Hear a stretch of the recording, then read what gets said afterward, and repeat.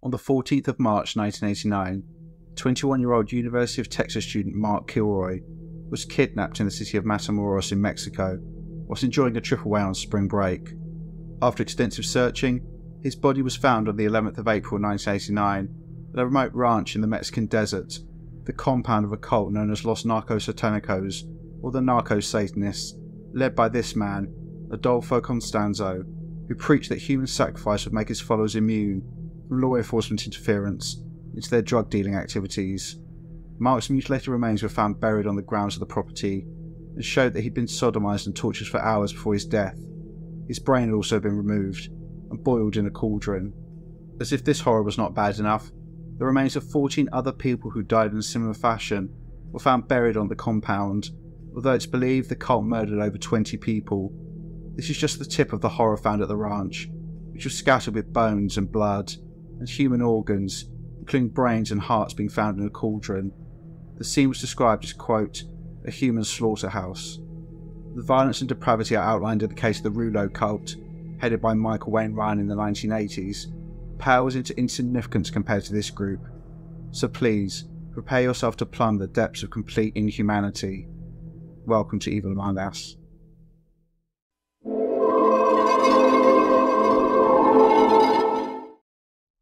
This video comes with a proviso and a warning.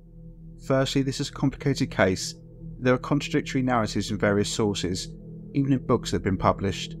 This mainly seems to revolve around details of dates, that victims other than Mark Kilroy died, but I've tried to be as accurate as possible. Secondly, a warning this case is extremely disturbing and involves graphic descriptions of torture and murder, so please, if this is likely to offend you, end the video now. So, Mark James Kilroy was born on the 5th of March 1968 in Chicago, Illinois, in the Midwestern United States. He was the son of James William Kilroy, a chemical engineer, and Helen Josephine Kilroy, a volunteer paramedic. Soon after his birth, the family relocated to the city of Santa Fe in Texas, which is where Mark grew up. He was a polite and studious young man who, since his early childhood, had always wanted to be a doctor. He was a popular student and excelled in his studies at Santa Fe High School, but was also a keen sportsman, including being on the basketball team. Mark did well on his SATs, and when he graduated from high school, obtained a place at the University of Texas at Austin to study medicine. He was well on his way to realising his dream. During his first year at college, he spent spring break with his friends in the town of South Padre Island in Texas, which lies on a barrier island off the coast of the state. This was, and still is, a popular destination for students due to the beautiful landscape and party atmosphere. It's also a mere 20 miles from the US Mexico border, so students often drive or walk across so they can enjoy a quote, two nation vacation. Unfortunately, despite the party atmosphere and the beautiful scenery, this area of the United States, particularly the border between South Texas and Mexico, is extremely dangerous and today is the most significant drug smuggling corridor along the whole 1,954 mile US Mexico border. This is due to the large number of border crossing points, 17 in total, which is more than the combined number of entry points for two of the other states which border Mexico, California and New Mexico. There's also the opportunities for maritime smuggling along the Texas coast. Given that this is the heart of the drug trade, it's also the epicenter of organised criminality. This region is controlled by the various cartels who have committed horrific acts of violence in order to protect their turf and the multi billion dollar drug trade. An epicenter of this criminality has, for decades, been the city of Matamoros, which is just over the border from the city of Brownsville, and some extremely dangerous men roam the streets, including sicarios, or hitmen, and falcones, or falcons, whose job it is to be the eyes and ears on the street, spying on rival cartels' activities, but also looking for victims, whether these be Mexican, US, or any other nationality, to smuggle drugs across the border. However, in the 1980s, there was another group roaming the streets of Matamoros, henchmen for a dangerous cult, looking for victims to be sacrificed in order to convince their deranged followers they now had magical powers. Mark Kilroy could not have known this, and so in 1989, as soon as spring break came round, he wanted to return to South Padre Island in Texas, but also explore across the Mexican border. On Friday, March 10, 1989, Mark and three of his friends, Bradley Moore, Bill Huddleston, and Brett Martin, set out on the nine hour drive to South Padre Island. They arrived on Saturday, the 11th of March, and began partying and sunning themselves straight away, having a good time. In the late evening of Sunday, the 12th of March, the group headed for Matamoros, crossing at the city of Brownsville, joining around 15,000 spring break revelers for more partying. The group returned across the border into the US in the early hours of Monday, the 13th of March. After spending the day recovering and sunbathing, they decided to return to the border city of Matamoros. At around 11 pm on Monday, the 13th of March 1989, four friends, Mark, Bradley, Bill, and Brent, parked their car near the crossing at Brownsville and walked across into the city of Matamoros. For the next few hours, the group partied and drank, but around 2 am on Tuesday, the 14th of March, they decided it was time to return across the border. At 2 am, they began walking down the main strip and approached a bar called Garcia, where Bradley and Mark separated from the group to relieve themselves behind a tree. Bradley soon returned, but Mark had disappeared. The friends were not too concerned at this point. They thought that Mark had just wandered off, but after searching for him for two hours, they began to worry. This was a time before mobile phones, so there was no way to contact Mark directly. At around 4am, they crossed back over the US border and went back to South Padre Island, hoping that Mark would either be there or would soon reappear. He didn't. What the group didn't know was that when Mark went out of their sight to relieve himself behind a tree, he was approached by two men, Serafin Hernandez and Mario Torres, who quickly bundled him into a van.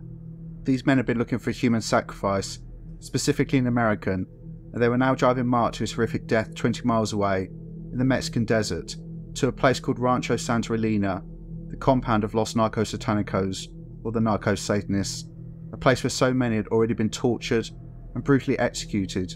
This place of horror was led by a sadistic psychopath called Adolfo Constanzo.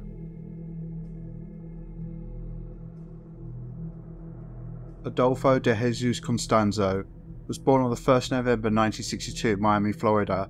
His mother was a woman called Delia Aurora Gonzalez. I've not been able to find out the name of his father, but he died when Constanzo was very young. Delia was born in Cuba and was a follower of a religion known as Santeria, which translates to, quote, Way of the Saints. Santeria is polytheistic, i.e., belief in many deities, known as Orokai. There's a strong belief in rituals, and that by performing these tasks in a specific way, a person can be given protection from evil and misfortune in their life, as well as imbued with spiritual and sometimes supernatural powers. These rituals can include dancing, drumming, speaking, and eating with the spirits. Two specific parts of this belief system are important. Firstly is the practice of giving offerings to the Orokai, which can include fruit, alcohol, flowers, and sacrifice animals, although this latter practice is not as common as when the belief system formed in the late 19th century. Secondly, part of the belief system, an important part of this case, is that a human head contains the person's essence. However, like any belief system, there's always a flip side. Whilst I was practicing Santeria appear to believe that the spirits they worship are good and will protect them from evil spirits, those who follow Palo Mayombe, which has been called the quote, dark side of Santeria, believe they can achieve the same outcomes protection, spiritual and supernatural powers by pleasing evil spirits. It's here where the belief in human sacrifice and horrific acts of torture and degradation fit in. The more horrific the act, the more power is given to the participant.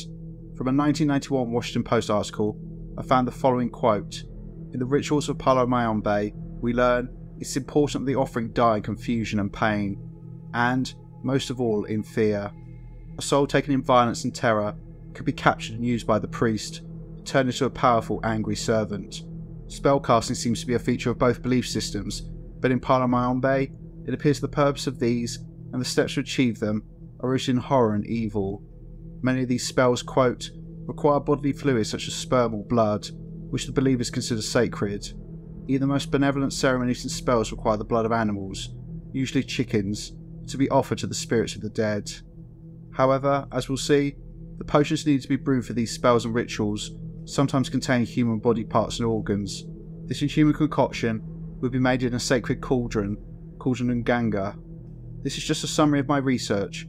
I'd never heard of either belief system before looking into this case, so I tried my best to condense a lot of articles and documents.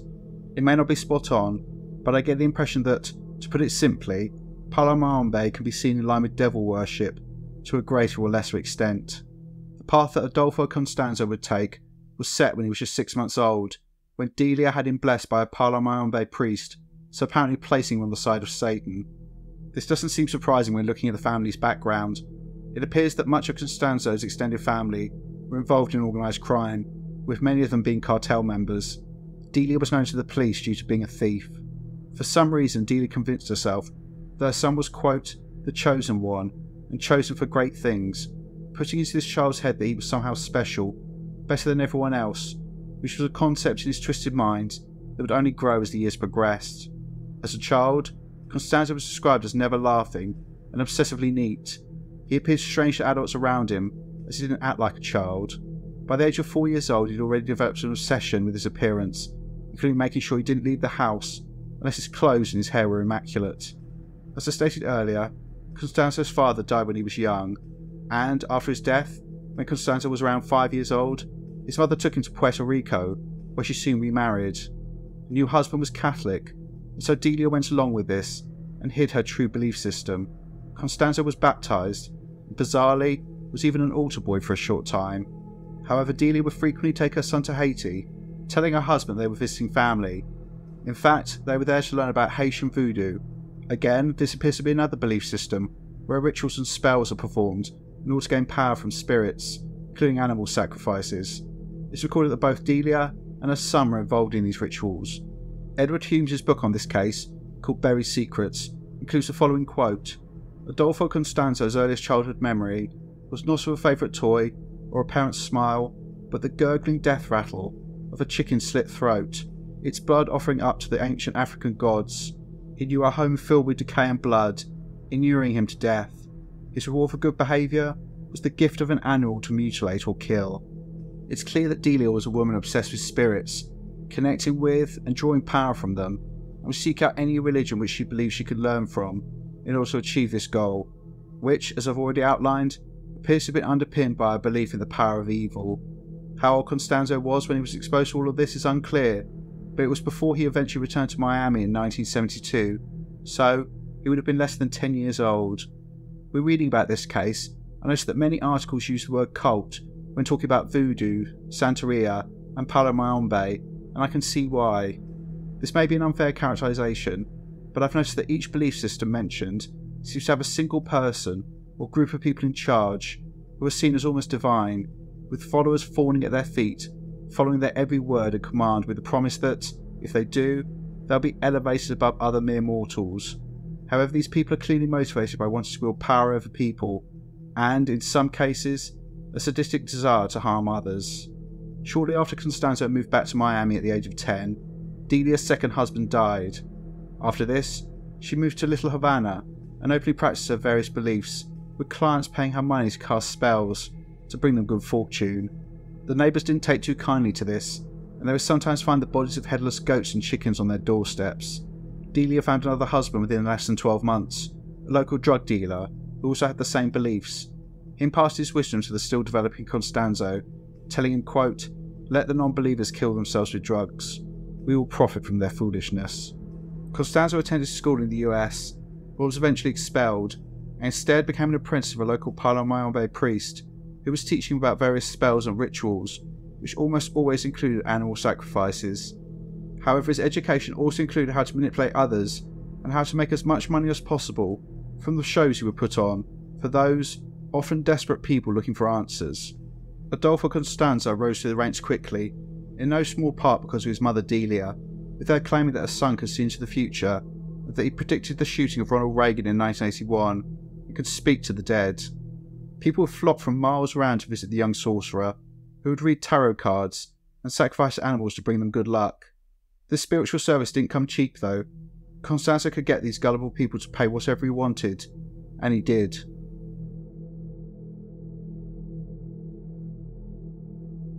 In 1983, aged 21, Adolfo Constanza moved to Mexico City, looking for new opportunities.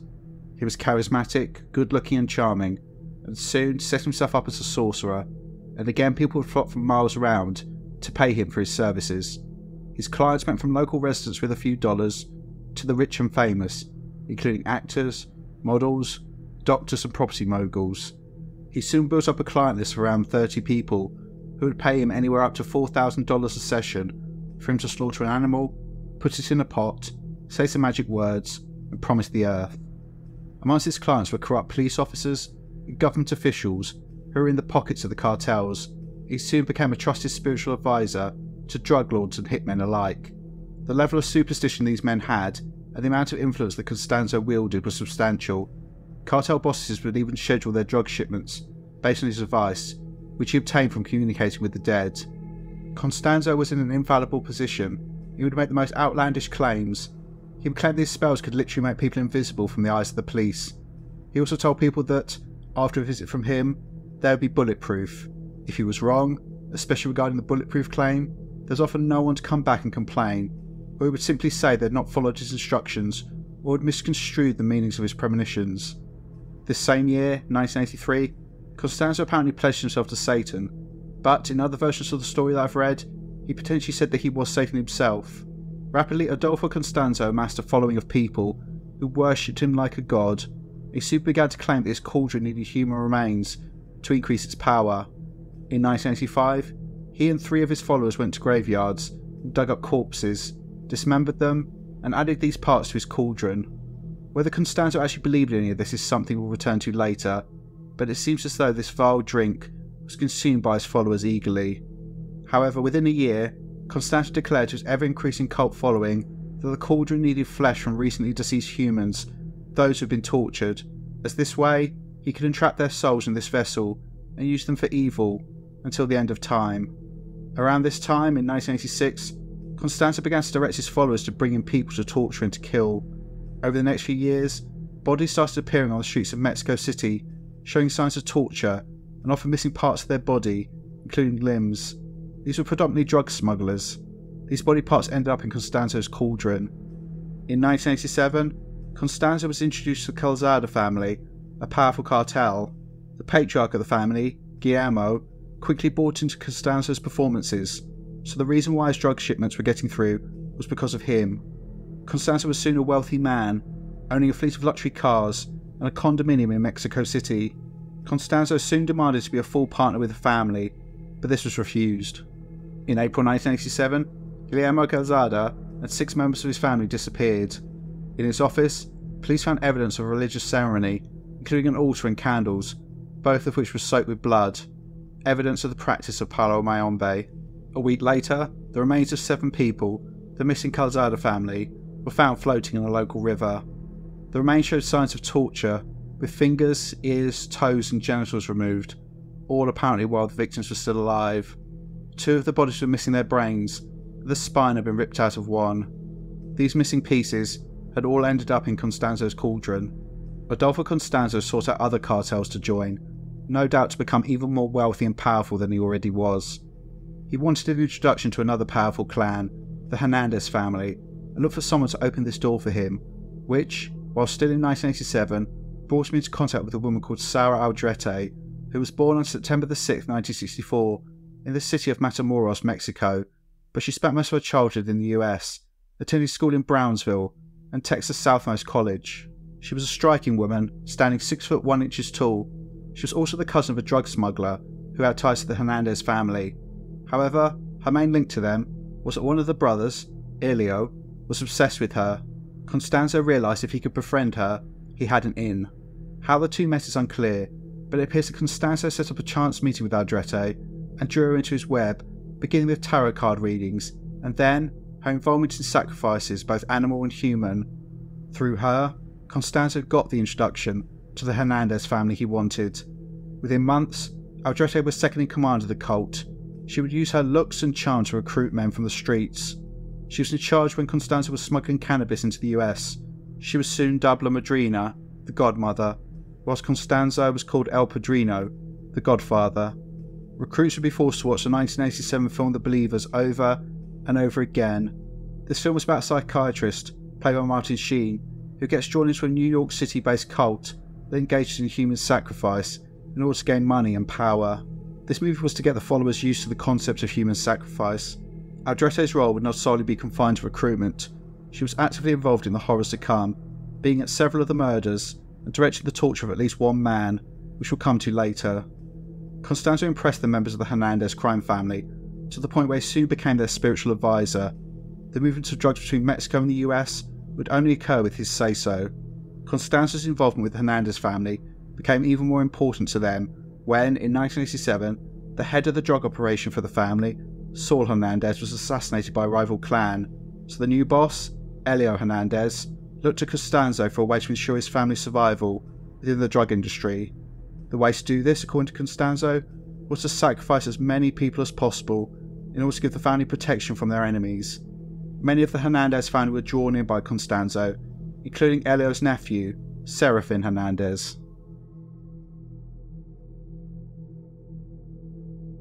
In late 1987, Adolfo Constanzo moved his operation to a property owned by the Hernandez family called Rancho Santa Elena, 20 miles outside the city of Matamoros in the Mexican desert.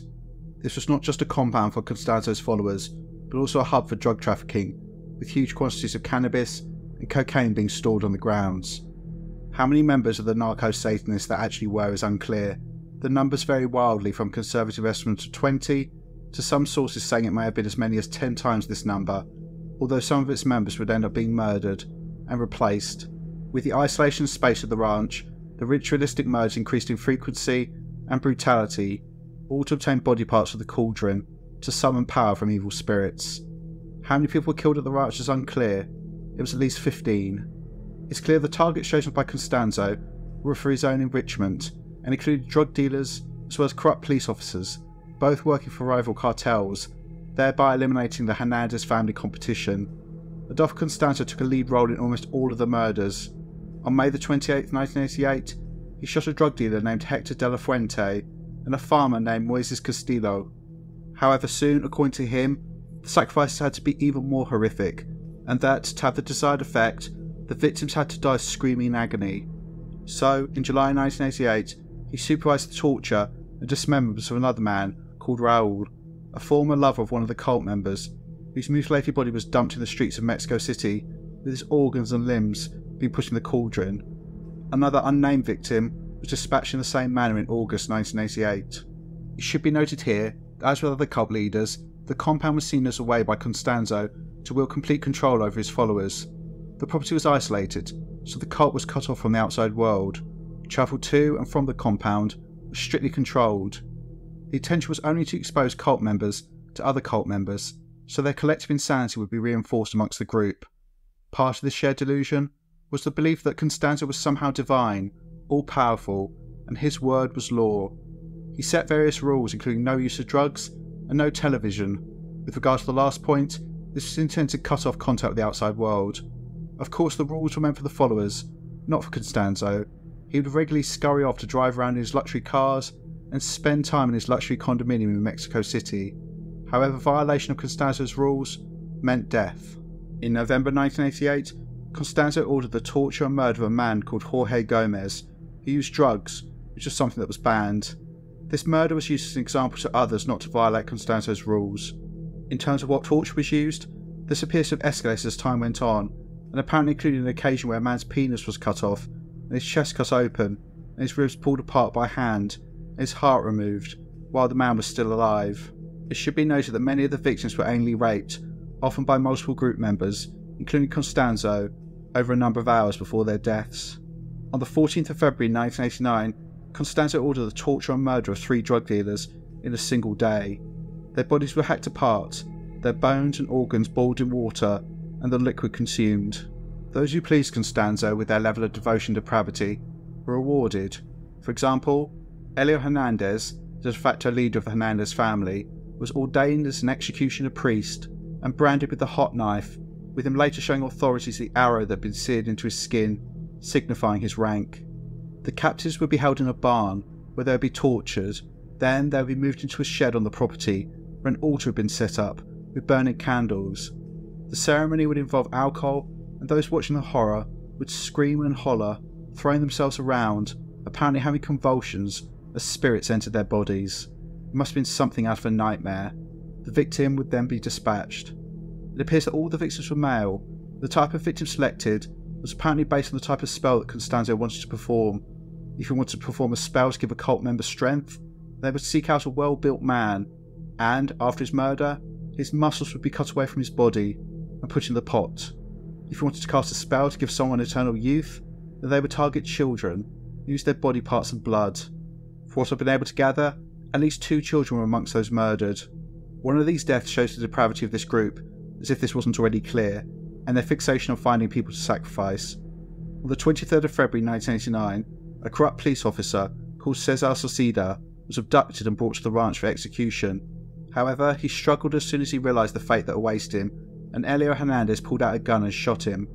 Constanza was displeased by this and stated that because the victim hadn't died by torture, his body parts could not be used, and so they needed another victim. Serafin Hernandez and two other cult members jumped into a van and sped off looking for another target. The van drove down Mexican Federal Highway 2, which connected the ranch and the city of Matamoros, when they spotted 14 year old Jose Luis walking on his way to feed animals at a neighbour's ranch.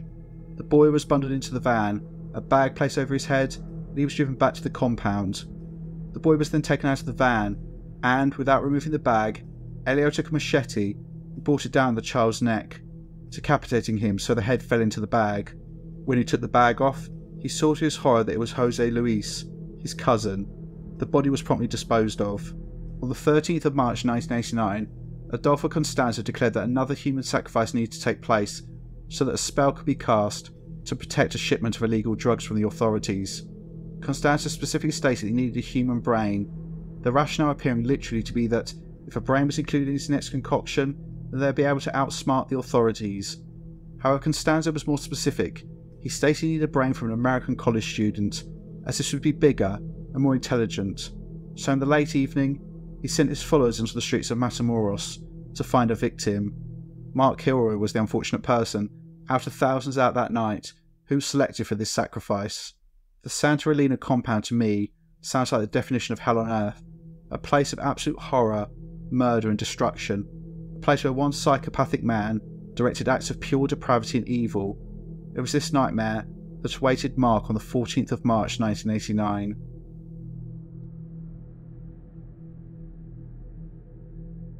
So, we left the story of Mark Kilroy earlier, with him having been approached by two men, Serafin Hernandez and another cult member called Mario Torres. The men apparently spotted Mark when he was relieving himself behind a tree, and they approached him, with Mario saying, quote, Do you want to ride? Before he could react, the men bundled him into the van. The date was the 14th of March 1989. The time was approximately 2am. Serafin was driving, but soon stopped as he needed to urinate. With the van stopped, Mark took the opportunity managed to scramble out of the vehicle, began to run. Mark began to sprint towards a car behind them, looking for help, but instead of finding salvation, he was confronted with other cult members who were in a second backup vehicle. Mark was attacked and bundled into the car, a knife held to his throat to ensure he didn't try to escape again. The vehicles then drove in convoy, taking Mark on his last journey and his horrific death at Rancho Santa Elena. What happened next is not known precisely, as there are different reports, but it appears the most likely sequence of events is that Mark was tied up and gagged in a barn initially. A few hours after his abduction, an aged caretaker at the ranch called Domingo Reyes spoke to Mark, gave him some water, and made him some eggs, as he said he was hungry, his gag was removed so he could eat his last meal. Then the torture began, with Mark being cut, stabbed, and burnt by various followers. He was also gang raped. This went on for approximately 8 to 10 hours. Leading the torture was Adolfo Constanzo, who it stated was one of the men who sodomized and tortured Mark. I've read that his second in command, Sara Aldrete, was apparently present, but it's unclear if this is the case or what her involvement actually was in the torture of Mark. It was believed that the ritual needed to be done within 13 hours of the abduction, so by 3pm, all the spell would not work. So just before 3pm, Mark Kilroy was led, blindfolded due to the duct tape over his face, with his hands behind his back, to the cabin where the executions took place. All the time he was begging for his life. Candles were lit, and chanting began, and Mark was forced to lie on his stomach, but then lightly forced into a kneeling position with his neck exposed. Adolfo Constanza then took a machete and brought it down on the back of Mark's neck. Some reports indicate this decapitated him. However, the majority I've read suggest this didn't actually remove his head and instead severed his spinal column. Either way, the result was the same Mark Kilroy, a man with a promising future, who just 13 hours ago was partying with his friends, had been sacrificed as part of the belief system of a deranged cult. As soon as Mark was dead, the group set about dismembering his body. The top of his head was cut open and his brain removed. His legs were also cut off above his knees to make it easier to bury him. His fingers and his penis were also removed. A wire was inserted into Mark's spinal column so that once the body had decomposed, the bones could be pulled up from the ground more easily. This was apparently so that Constanzo and other cult members could eventually wear Mark's vertebrae around their necks for good luck. Mark's brain was then taken and fed into the bubbling cauldron. A goat's head, chicken feet, a turtle shell, a horseshoe, coins, and animal blood were all added. The ingredients apparently needed for Constanzo to cast a spell to protect a drug shipment.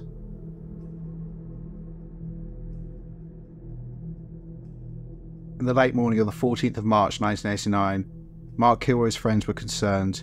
He had not returned to South Padre Island, and they had not seen him now for approximately eight hours, and they knew something was wrong. So they crossed back over the border into Mexico and reported Mark missing to the US Embassy. They were brushed off, being told that Mark had been arrested in Mexico for some minor infraction, would soon be released, and stumbled back across the border, little worse for wear, later that day. Unsatisfied, Mark's friends crossed back into the US and filed a missing persons report with the police in Brownsville. However, when US police approached their Mexican colleagues, they refused to help them. They stated that according to their records, Mark had crossed back into the US, and so it wasn't their problem. Whether officials were covering for the activities of the cult or were simply incompetent is unclear, but the investigation into Mark's disappearance came to a grinding halt before it had even begun. It appears the only reason why Mark's disappearance was actually taken seriously was due to his uncle, who worked for US Customs, calling in favours and putting pressure on agencies on both sides of the border. This resulted in a major investigation being started. The Kilroys, their friends, and both US and Mexican police forces searched for Mark, posting 200,000 flyers in both Spanish and English all along the Rio Grande Valley. They offered a $15,000 reward for information on Mark. Mark's parents met with officials all along the border, and his case was featured on America's Most Wanted. However, it would be the stupidity of one cult member who would, luckily, bring an end to the activities of Los Narcos Satanicos, but not before two further human sacrifices occurred. The last of these occurred on either the 28th of March or the 1st of April 1989 and involved a man named Gilberto Souza, whose ordeal began by being hung from a beam. Sara Aldrete then directed this man's torture, with him being lowered into a barrel of boiling water, while she told others to cut off his nipples with scissors before he was murdered. The reason why she was chosen to take the lead was apparently because Souza used to be her lover. This last sacrifice was apparently to ensure that 800 kilos of cannabis arrived in the US safely, and the specific spell using the body parts of Souza was to make the cult members literally invisible and bulletproof. Belief in this nonsense is what led to the downfall of this murderous cult. On the 9th of April 1989, Serafin Hernandez was driving back from smuggling drugs over the border when he drove straight through a roadblock which had been set up to detect drug traffickers. The armed Mexican police were stunned by his brazenness, but instead of opening fire, they decided to follow the vehicle and were led all the way back to Rancho Santa Elena. It appeared that Serafin was genuinely surprised the police could see him and they arrested him. A quick search of the ranch revealed the presence of cannabis and cocaine and cult paraphernalia, but rather than searching too extensively, the police made a number of arrests. This included four cult members, amongst them Serafin Hernandez and Elio Hernandez, as well as the caretaker for the ranch, Domingo Reyes. The puzzle pieces quickly fell into place. Domingo Reyes saw a picture of Mark, confirmed that he'd been at the ranch, and even spoken to him. Serafin Hernandez, who from everything I've read was essentially brain dead, freely confessed to everything, not just the death of Mark, but multiple other murders, and explained that the victims were buried at the ranch. He also identified Adolfo Constanzo and Sara Aldrete as the ringleaders. Serafin's willingness to recount his crimes appeared to stem from him believing that because of the magic cast by Constanzo, he was immune from prosecution, so he could confess everything and there would be no consequences. I would love to have been in the room with him when it dawned on him that he'd put the nails in his own coffin. On April the 11th, 1989, the police descended on the ranch and the horror of Los Narcos Satanicos was finally revealed. Over the next five days, the grounds of the ranch were excavated, as well as a nearby orchard, also owned by the Hernandez family. The bodies of 15 men were eventually recovered, including the horrifically mutilated body of Mark Kilroy, which was found on the first day. All of the corpses showed signs of prolonged torture and were missing various parts of their bodies, including ears, noses, limbs, and their genitals. Others showed signs that their chests had been pulled open and their hearts and other internal organs removed. Police also recovered Constanzo's cauldron, which was brimming with blood, spiders, scorpions, a dead black cat, a turtle shell, bones, deer antlers, pieces of a human brain, Mark's brain. In the shack where the executions took place, the police found blood caking the walls and floor, and, along with bones and clumps of human hair and skin, they found an altar, unused candles, and broken bottles of alcohol. Human skulls, bones, and teeth were found scattered throughout the property. A federale asked Serafin, who was ordered to direct them around the property, why he had removed Mark's brain, and he responded nonchalantly, quote, It was our religion. The discovery at the ranch meant the call had to be made to James and Helen Kilroy to tell them the fate of their son. The horror in this case is beyond belief. It wasn't just bad enough that their child had been murdered, but the nature of his death was so brutal, so unnecessary. However, the bravery of this pair is amazing, and I'll return to them later.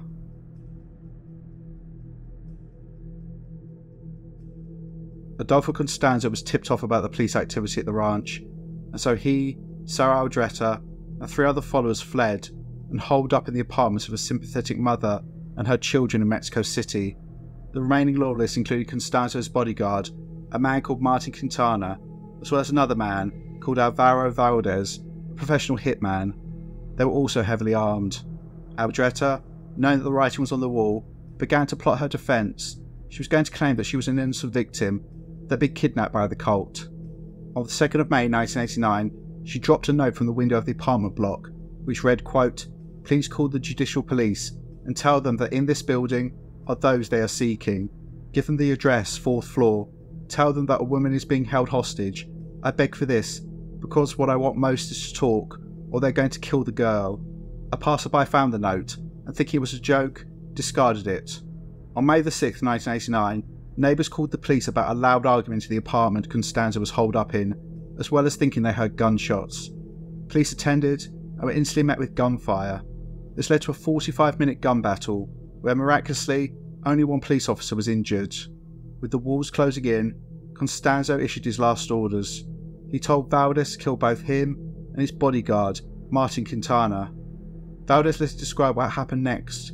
Quote, I told him I couldn't do it, but he hit me in the face and threatened me that everything would go bad for me in hell. Then he hugged Martin, and I just stood in front of them and shot them with the machine gun. The monster that was Adolfo Constanzo was dead. He was just 26 years old.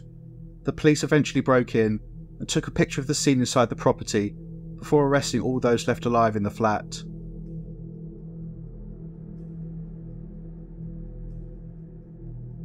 With Adolfo Constanzo dead, his followers were left to face the music alone.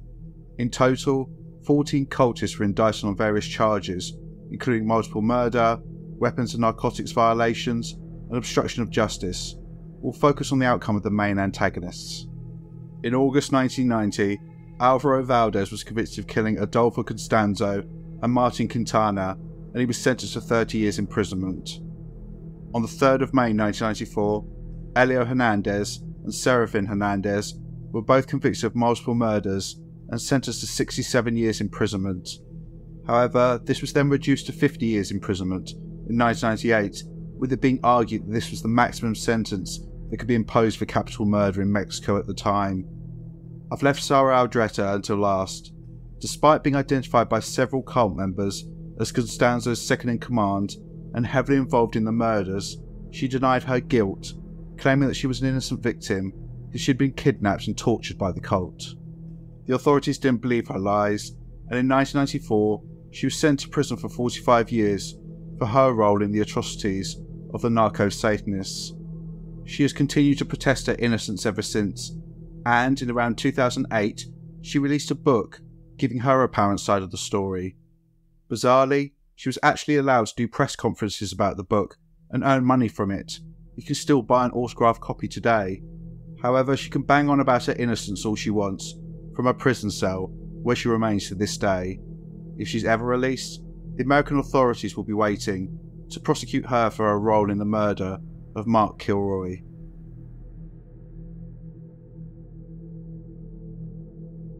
The bravery of James and Helen Kilroy is remarkable. They didn't crumble after the death of their son. It appears their faith was pivotal to this, with them believing their son was now in heaven and they would join him one day. They decided to spend their remaining time on Earth trying to do some good and keep their son's memory and name alive. And that is exactly what they did. The Mark Kilroy Foundation is still going today, over 30 years later. The website states, quote, the mission is to provide anti-drug scholarships, at-risk youth intervention, and summer programs. I'll leave a link to the website in the description. If you could donate your time or money, then please do so. Total respect for James and Helen. I'm sure Mark would be very proud.